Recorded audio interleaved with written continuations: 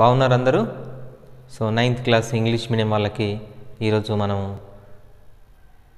now we are going to discuss how to represent to represent uh, a fraction on number line how to represent a fraction on number line okay so here one example is there represent 5 by 3 and minus 5 by 3 on the number line so we have to represent this number 5 by 3 and minus 5 by 3 on number line.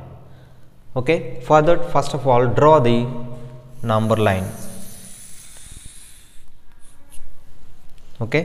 This is a number. So here is 0 this is 1 this is 2 and 3 similarly this side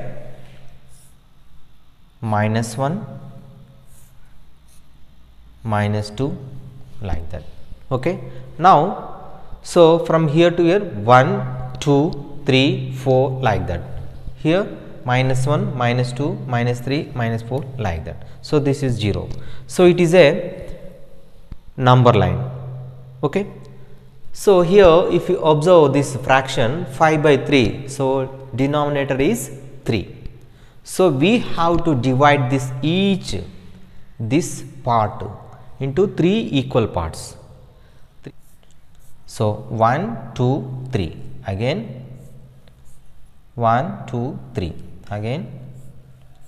1 2 3 like that this side also. 1 2 3 1 2 3 like that. So so from here to here 1 what about this? This is 1 by 3 this is 2 by 3 and this is 3 by 3 3 by 3 is nothing but 1 okay? And this is 4 by 3 and this is 5 by 3 and this is 6 by 3 6 by 3 is nothing but 2 okay? Similarly this side. This is minus 1 by 3 this is minus 2 by 3 this is minus 3 by 3 minus 3 by 3 is nothing but minus 1 and this is minus 4 by 3 and this is minus 5 by 3 and this is minus 6 by 3 minus 6 by 3 minus 6 by 3 is nothing but minus 2 so we have to represent we have to show 5 by 3 and minus 5 by 3 on this.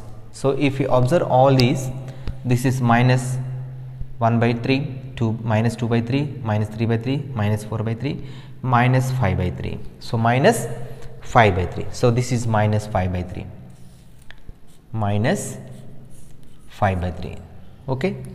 And plus 5 by 3 this is plus, plus 5 by 3 okay? This is 5 by 3